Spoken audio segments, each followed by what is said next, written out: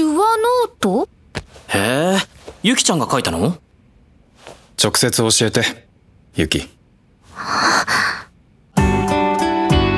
目合わせるのキャーってなる。あすごい見てる。いつおみさんが現れてくれて私はほらやっぱり顔キラキラしてる。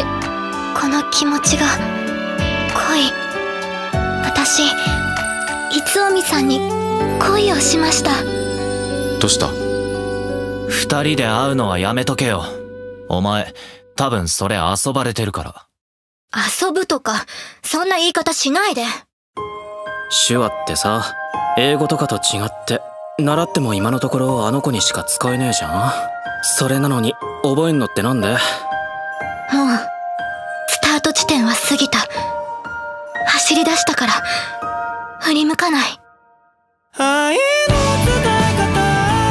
な手話はこうか。いつか使うわ。知らない世界へ踏み出していくのは怖くないですか？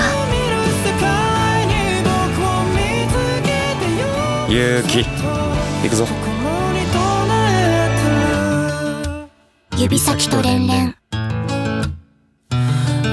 あなたのこと好きになったらどうしたらいいですか？